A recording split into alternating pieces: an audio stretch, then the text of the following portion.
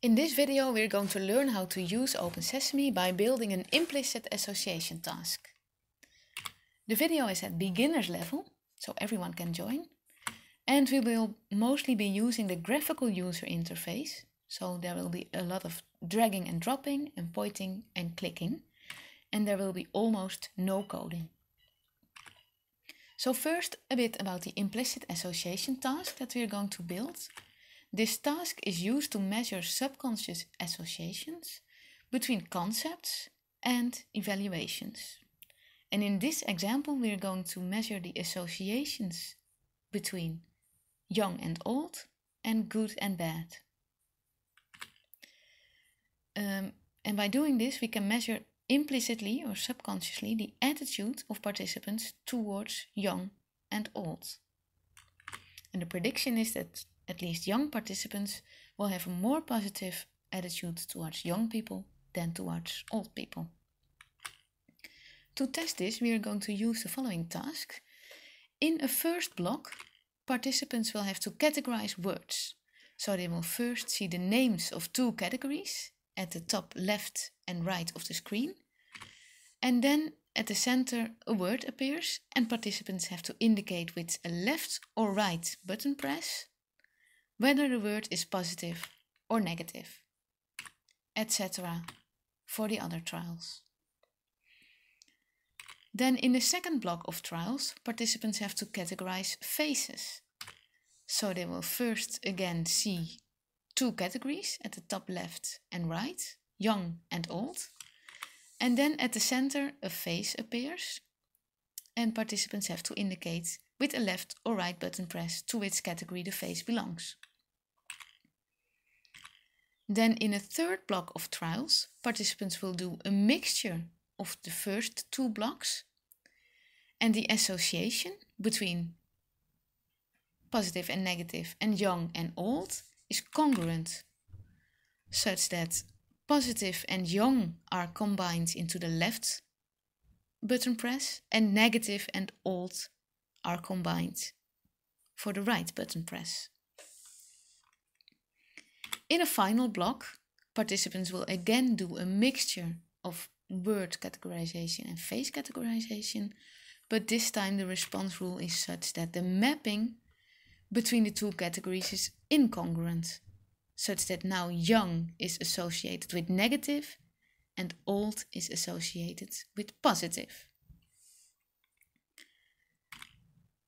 The prediction is that participants will find it easier to respond to congruent mappings, so when positive and young go together and negative and old go together, and this will lead to faster response times as compared to the incongruent con condition, when positive and old go together and negative and young go together. Well, before programming, it's important to identify two things. The trial sequence that we're going to program and the hierarchy of our experiments. So first about the trial sequence. Each trial starts with a fixation point that is presented for 500 milliseconds. And then the two categories are presented at the top left and right and a stimulus appears at the center of the screen. Then participants make a button press um, to give their response. And then finally, importantly, all the variables of the current trial have to be logged to the output file. Then about the hierarchy of our experiment, um, we just said that each uh, experiment consists of four blocks of trials and then let's say that each block of trials um, contains of 12 trials. So for example, six positive words and six negative words. And then each trial in turn contains the trial sequence that we just identified. So let's do some programming. When you start Open Sesame, you will see a Get Started tab with a list of templates and a list of recently opened experiments. For the current video, we will use the extended template. So we click on this button and we see that Open Sesame automatically generated a template experiment for us. Now, before looking at uh, the template, the first thing I want to do is to save our experiment because this is very good practice. So I click on File and then Save. And I give my experiment a meaningful name.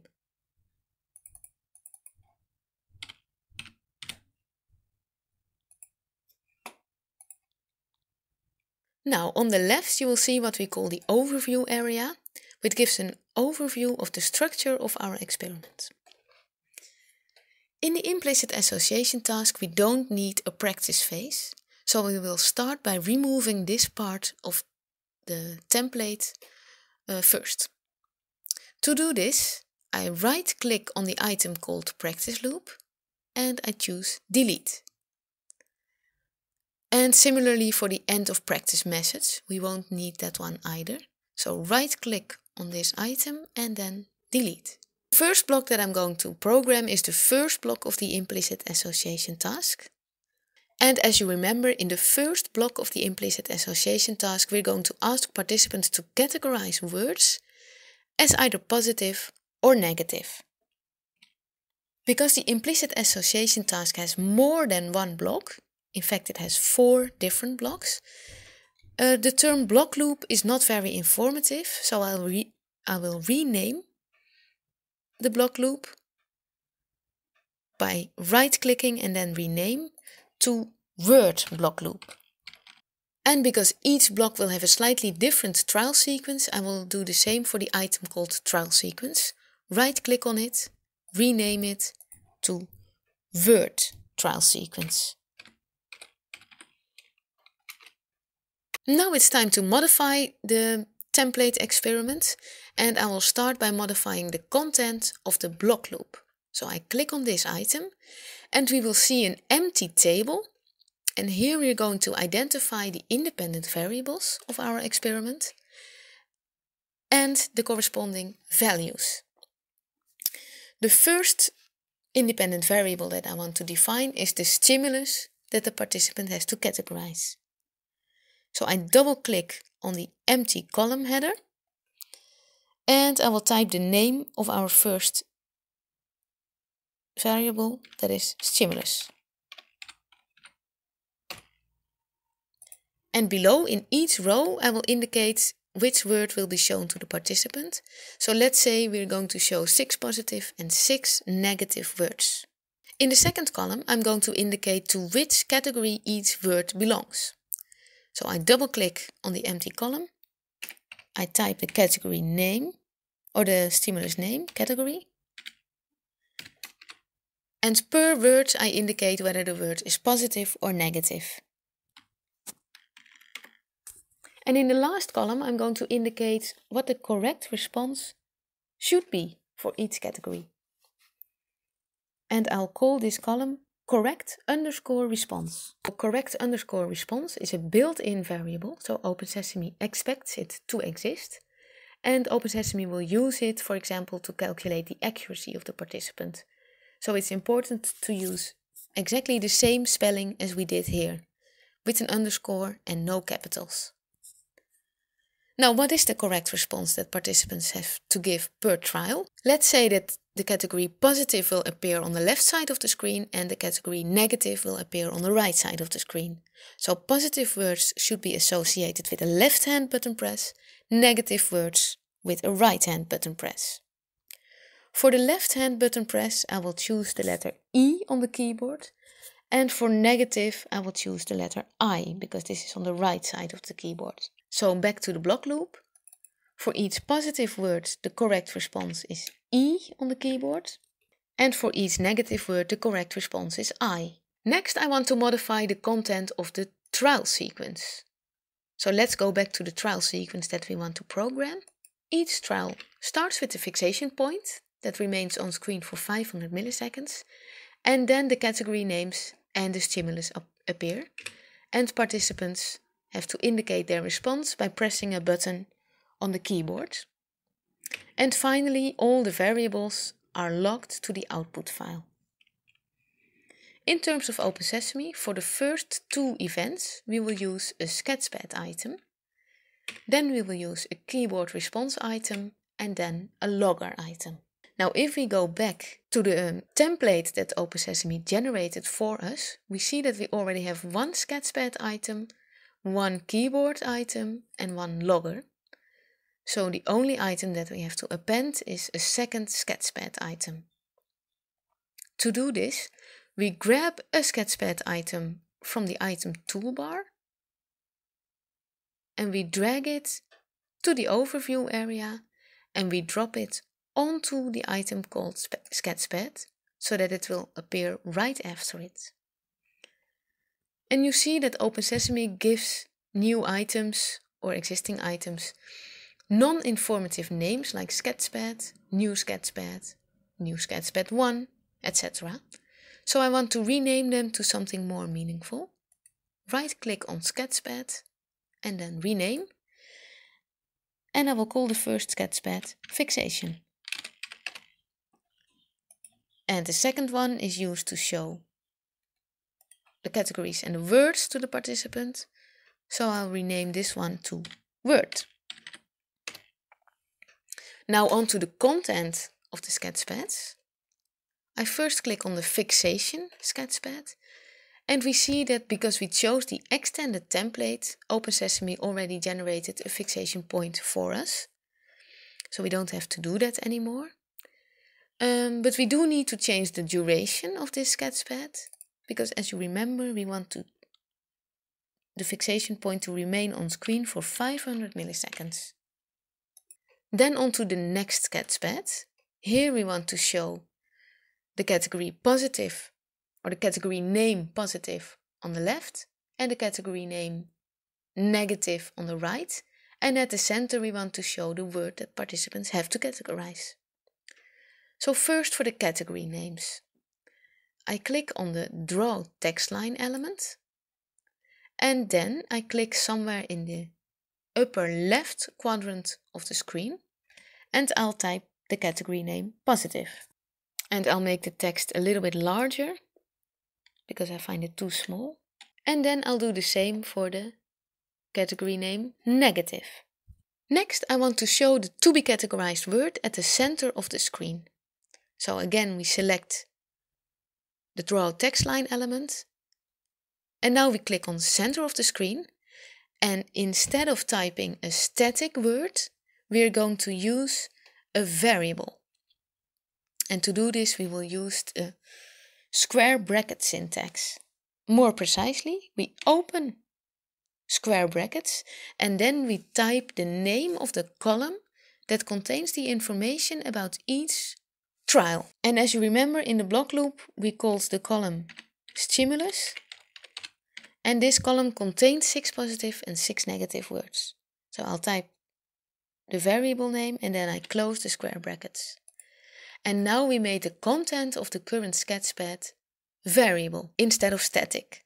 So it means that which stimulus is shown exactly depends on where we are in the word block loop. And because we set the order to random, this means that OpenSesame will run through these 12 trials in a random order, which is exactly what we want. So the square bracket method allows you to make content variable instead of static and this is very convenient because it avoids us from having to program a separate sketchpad for each positive or negative words. Now the last thing that we need to change is the duration. It is now set to key press, but we will change this to zero. And because a keyboard response item follows right after it, this means that the current sketchpad will remain on screen until participants pressed a response. And this is exactly what we want. So it's time to test our first block. And to do this, we click on the blue arrow. And we, we will check if everything runs smoothly.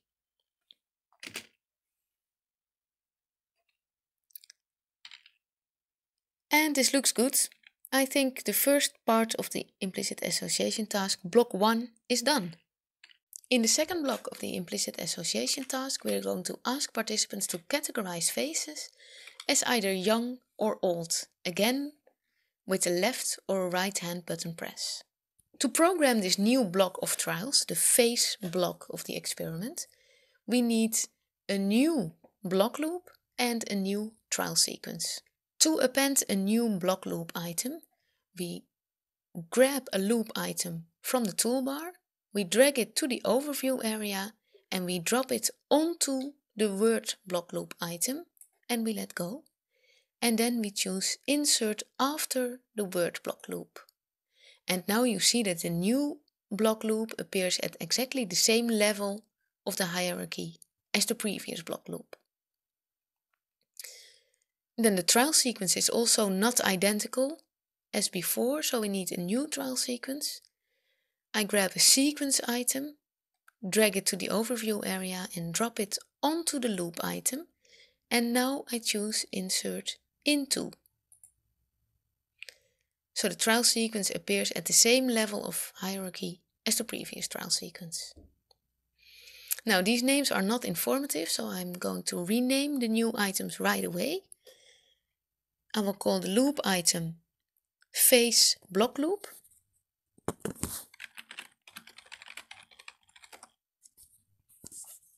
And I'll call the sequence item face trial sequence. Now for the content of the trial sequence, let's have a look at what we want to show exactly in this second block of trials. As before, we first want to present a fixation point for 500 milliseconds and then we present two new category names, young and old, at the top left and the top right of the screen. And at the center of the screen we will present a picture of a face that participants have to categorize. Then we collect a response uh, by using a keyboard item and we log all the variables to the output file by using a logger item. So we see that we see that event 1, 3 and 4 are the same as in the previous trial sequence. So we can reuse the work that we did before for these three events and we can do that by making copies. So to make a copy of an item, right click on the item, here fixation, fixation, and then choose a linked copy because we want the item to remain exactly the same. And then to paste it, we go to the trial sequence, right click on it and then paste. And then choose Insert into the trial sequence. We do the same for the keyboard response. We can reuse that one as well. And the logger item. So the only item that we have to make from scratch is a new sketchpad item to show the stimulus and the category names.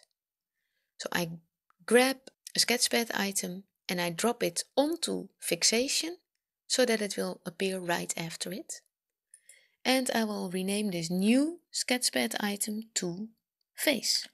So now the structure of the new block is done. What about the content? Let's first have a look at the content of the new block loop. So I click on face block loop and I want to identify the same three variables as before. So stimulus, category and correct underscore response. So what are the stimuli, stimuli that we want to show? Um, we need six pictures of young faces and six pictures of old faces. And to give you an example, you can go to the following link and download um, some face stimuli there. osdoc.cogsci.nl slash attachments slash IAT 2020 slash face dash stimuli.zip. And you download the stimuli, you go to your downloads folder and you unzip them. And you'll see that the folder contains six old faces. The O stands for old, the Y for young, and they are JPEG files containing pictures of old and young faces. Next, we want to attach these JPEG files to our current experiment, and we will do that by using the file pool. So if you don't have this window at the right side of the screen, called File Pool, you can open it by clicking on the Show File Pool icon in the menu bar. And then to attach the JPEG files to our experiment, we click on the plus sign, we browse to the appropriate folder, and we attach all the stimuli. And now we have the values of the variable stimulus. So for example, for the, in the first row, I will type of1.jpg. And similarly, we need to type all the JPEG files into the row, into the column called stimulus. And it's very important to use exactly the, the same spelling as the file names, uh, because otherwise Open Sesame doesn't know where to find the file if you refer to it later on in the experiment. In the next column we are going to define the category, so for each JPEG file we indicate whether it's an old face or a left face. So O is old and Y is young. In the final column, correct underscore response, we are going to identify the response that participants are supposed to give. Now let's say the category name young appears on the left side of the screen and old on the right side of the screen. Uh, as before, the left side is associated with a left button press, so the letter E, and the right side is associated with a right hand button press, uh, the letter I. So old is E and young is I. Now that's it for the block loop item. Let's go to the trial sequence. The only item that we have to adjust is the face sketchpad, so we click on it. And as before, we're going to show the category names at the top left and the top right of the screen. And this time the category names are young on the left side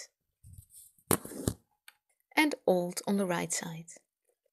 And at the center of the screen we want to show faces. So it's not text anymore, but it's a visual stimulus, a JPEG file. To show such kind of stimuli, we will use the draw image element. So we click on this icon, then we click at the location, so at the center of the screen, and first we select just one of the face files. I'll click the first one and I select it. But of course we are not done yet because we don't want this specific face to be shown on each trial.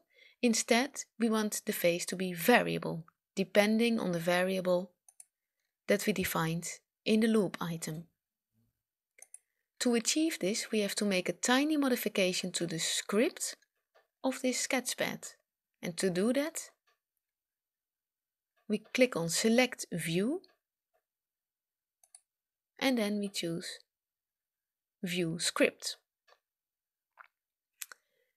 And because the um, face is a variable, it's not static, we will use the square bracket syntax again.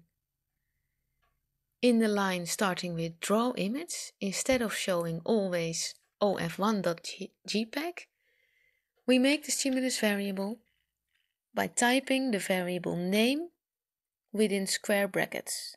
As you remember, we called this column or this variable stimulus and we close the square brackets and then we apply and close the script. And now the content of the sketchpad is variable depending on where in the block loop we are. I think we are done with the second block. Uh, to verify if everything runs smoothly, we will do a test run again. Because we already tested the word block loop, we don't want to run this block again. So we have a little trick for that. I go to the experimental, sorry, to the block sequence, and then I set the run if statement of the first block loop to never. So now we can go ahead and test the face block loop right away. So this is a small trick. Don't forget to put the run if statement back to always when you're going to use the experiment for real. And when doing the test run, I noticed that we forgot something in the face sketchpad. Uh, the duration have to be set has to be set to zero. So now uh, the experiment will advance to the keyboard response right away, so that the current sketchpad stays on, on screen until the participant made a response. A new test run, and it works. The second block is done. The third block of the implicit association task is called the congruent block. And in this block, participants are asked to categorize words as positive or negative and to categorize faces as young and old in one and the same block. So the two types of stimuli are mixed. The block is called congruent because the response rule is mapped in a congruent way, such that positive words and young faces are associated together and negative words and old faces are associated together. To create this third block in Open Sesame, we will start again by appending a new block loop item and a new trial sequence item to our overview area. So as before, I grab a loop item. I want the loop to appear after the second block, so I drop it onto face block loop and then I choose insert after face block loop. And we see that the new loop appears at the same level of hierarchy as the previous two block loops. Similarly for the trial sequence, I grab a sequence item uh, from the toolbar, I drop it onto the new loop, and this time I choose Insert Into. And again you will see that the new sequence appears at the correct level of the hierarchy. Let's rename the new items right away to congruent block loop and congruent trial sequence.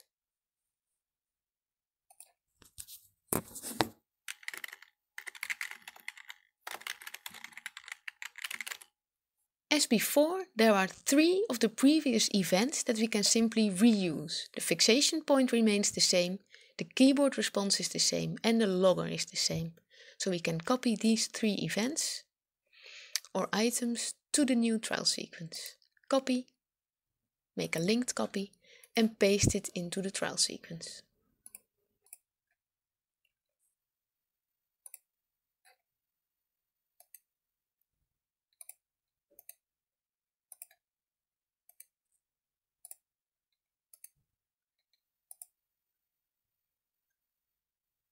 We do need to create a new sketchpad item um, for the stimulus presentation because the stimulus is different from the previous two blocks. So I grab a new sketchpad item, I drop it onto the fixation item so that it will appear right after it and I will call it congruent.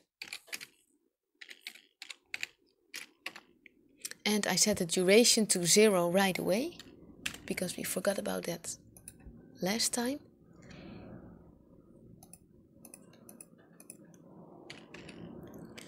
And now for the content of the new items. Let's first have a look at the congruent block loop. As you may understand, the congruent block loop is twice as long as the previous two blocks because it's a combination of the two. All the words from block 1 are repeated and all the faces of block 2 are repeated. So block 3 will be 24 trials long instead of 12. Now we already have all the trial information from the previous blocks, so we can simply go to the word block loop and copy all the information from the word stimuli and make sure to also select the column headers. We simply select the whole table. We make a copy and we paste the word information into the congruent block loop. Then we do the same for the face information from the face block loop, but this time we don't need to copy the column headers anymore, so we only select the cells below. And again we paste it into the congruent block loop. In the congruent block loop I will make an additional column I'll call it stimulus type. And here we indicate whether the, previ- uh, the present stimulus is a word or a face. So for the first 12 rows, we indicate that the stimulus is a word.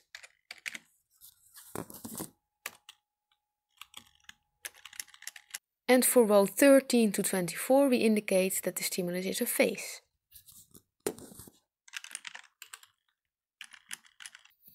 And you'll see in a minute why we need this information. Now let's go to the content of the new sketchpad item, the congruent sketchpad. Uh, let's start with typing the category names again in the top left and the top right of the screen. At the left, the category names positive and young will appear. And at the right, we will type the categories negative and old. Now for the stimulus presentation at the center of the screen. Um, if the stimulus is a word, we have to use the draw text line element. And if the stimulus is a face, we have to use the draw image element. So let's start with the draw text element. Uh, we click on it, we click at the center of the screen, and we indicate again with the square bracket syntax that we want to present a variable that is called stimulus. But now we have to tell OpenSesame that it has to use uh, this draw text element only when stimulus type in the block loop is set to word. And we can do that by using the show if box. Instead of showing the text always, we want to show the text only if. Stimulus type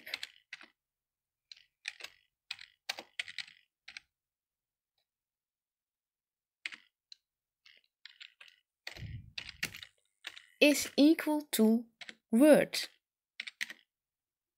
In contrast, if the stimulus type is a face, we want to use the draw image element in the same way as we did for the previous block. So we click on it, we click on the central location, and then first we simply show a static image. And then we will make the image variable by making a small modification to the script. As before, we change the static file name to the square bracket syntax. And now while we are in the script, at the same line, we can also change the show if statement. We want to show the face if stimulus type is equal to face.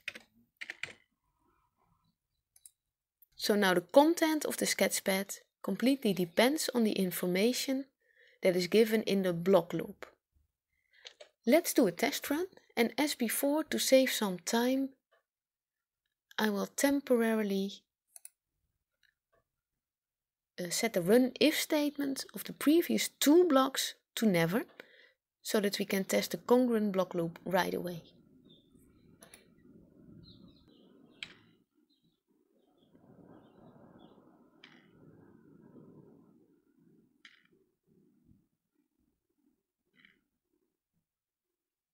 And as you see, everything works smoothly.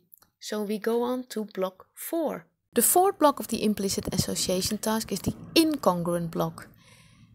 This fourth block resembles the previous block, except that this time the response rule is incongruent, such that young is now associated with negative, both require a left hand response, and old is associated with positive, both require a right hand response. To implement this fourth block, let's again start by appending a new block loop and a new trial sequence to our overview area.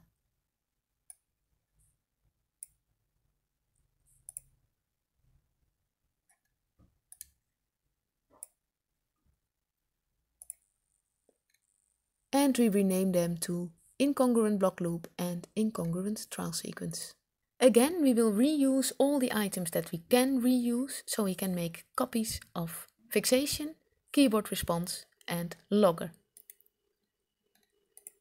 And we paste them into the new trial sequence. Now for the content of the new items, let's first have a look at the incongruent block loop. The incongruent block loop very much resembles the congruent block loop, except for one small change, and that is that this time Negative is associated with a left hand button press, so the E, and positive is now associated with a right hand button press, the I. So the only thing we need to swap is the correct response on the word trials. Therefore, we can simply make a copy of everything in the congruent block loop, select all,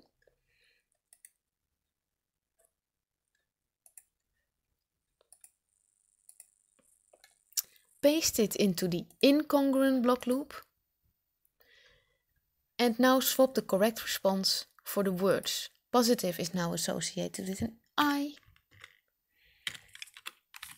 and negative words require an E. The remainder of the block content remains the same. Now for the stimulus presentation of the incongruent trials. If we go back to the congruent sketchpad, you see that in fact we only have to make one small change and that is that negative should now appear at the left side of the screen and positive should appear on the right side of the screen. The rest of the sketchpad remains identical. And therefore, to save some time, I think this is a good moment to introduce you to unlinked copies. We make an unlinked copy of the congruent sketchpad right clicking and then choosing copy unlinked. And then we paste the new item after the fixation point. And now you see that OpenSesame created a new item, so it's not a linked copy to the congruent sketchpad, but it took the congruent sketchpad as a starting point. So we can rename it to incongruent and make the required change uh, by clicking on the element on, on the left side of the screen, double clicking on it, and we replace positive by negative.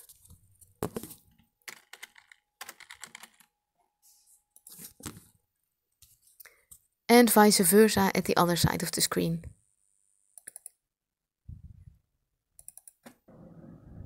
Selecting an element uh, in the sketchpad is a bit tricky. You just have to hover over the element until it turns grayish and then you can double click.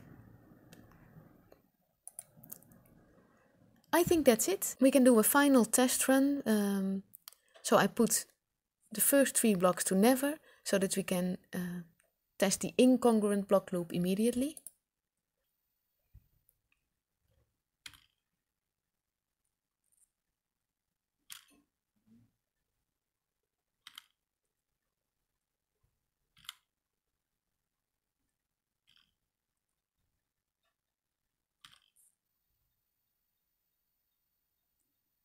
And it works. We are done programming an implicit association task in OpenSesame.